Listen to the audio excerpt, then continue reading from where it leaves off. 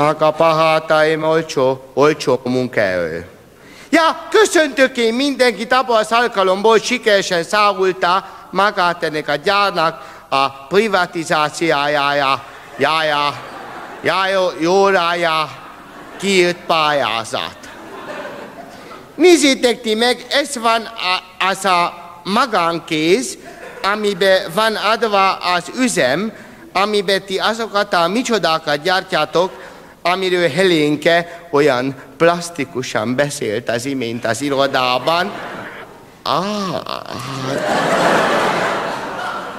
és én most ezzel a kézzel, amivel a Helénkét is megpróbálkoztam, emelem pohámat mindenkire, profit.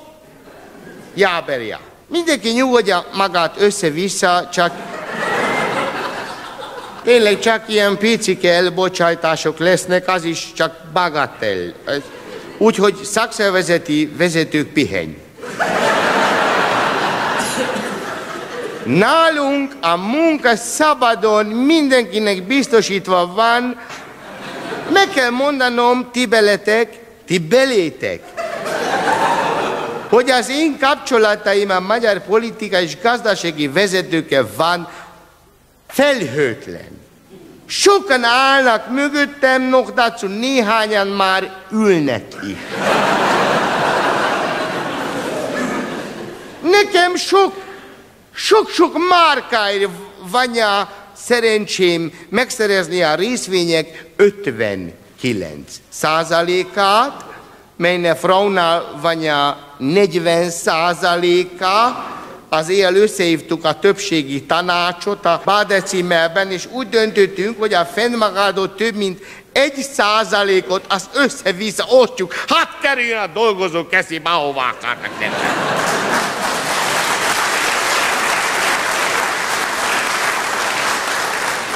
Na most, drága, melyne Fraunak van hatalmas esztétikai érzék. Többéről nem is beszélek. Már meg is tervezte a részvényt, 50 forintba kerül bélyegnagyságú lesz, picike, picike, nosztalgikus csillag lesz rajta, rá lesz írva szakszervezet. Na ja, itt van a pusmogások hogy én azért nyertem el ezt a tendert, mert a, hogy a Tocsik Márta képviselt. Ez szemet, szemetet, szene... Esztetet, szemet, szenetet, majd egyszer ezt elmondom.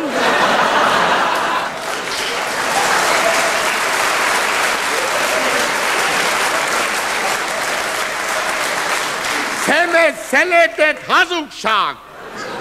Nekem az az izé üzem szívügyem. Nem vagyok jó, lesz ténykérdés. Kevesen tudják, hogy valamikor én is a pályafutásomat ezek között, a rettenetes falak között kezdtem, mint segéd galvanizáló. Csak egy hét múlva lettem pártitkár de nem értettem egyet magammal, azért egy boni tanulmányút alkalmából Németországba szakadtam kifele. Teljesen. Barátaim, bruderek, nagyra törő tervekkel szálltam le közétek, ha rájövök, hogy mit is gyártunk, azonnal gatyába rázom a vállalatot.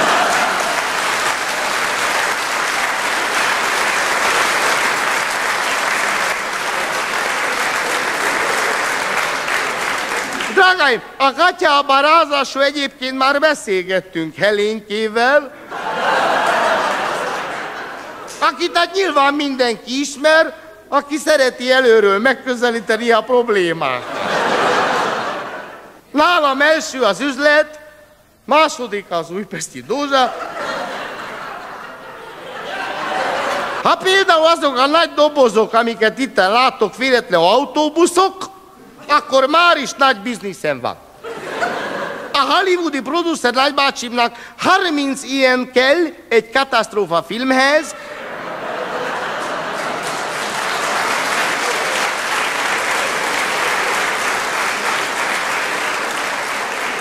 és És tárgyalok csecsen vezetőkkel is, akik egyébként normálisan terroristák, akik most nagy túlszállítási problémáik vannak. Apropó, na most a dolgozóinktól, akik nem beszélnek csecsenül, Auch Wiedersehen. Ja.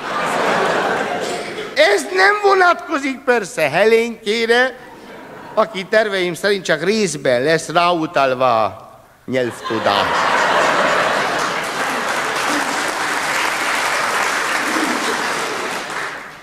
Óriási örömmel jelentem be, sikerült a feleségemnek megvárasolni három közszolgálati tévécsatornát és néhány független napilapot a hozzájuk tartozó politikusokat. Úgyhogy Úgyhogy csuma sumárom, ezek is a családban maradnak. Helenke mondja, hogy legyünk büszkék az eddig elért sikereinkre. Hát, legyünk. Például csuklós buszainkat az egész világon emlegetik. Azért a sok jó hír mellett azonban azt is el kell mondanom, hogy a hírnév megőrzése érdekében sajnos meg kell válnunk a fényező műhely éjszakai műszakjától, és a pénzügyi ellenőrző csoporttól, és néhány takarító nőtől. A nőkről jut eszembe, csökkenteni kívánjunk a munkaidőt a 40 éven felüli nőknél.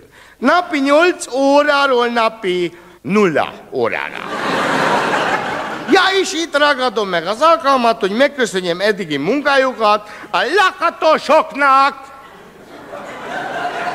az orsosoknak és a kolompároknak is.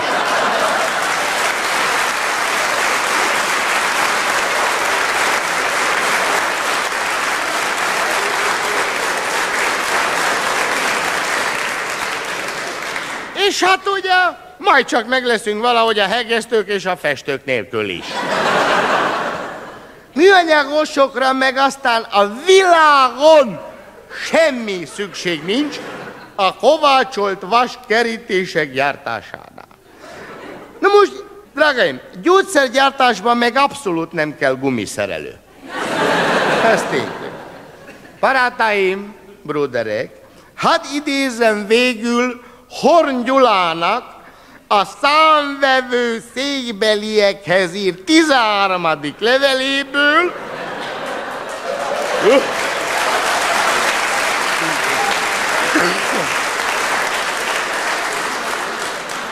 akik privatizálnak, azok kurva jól járnak. Ez a lényeg.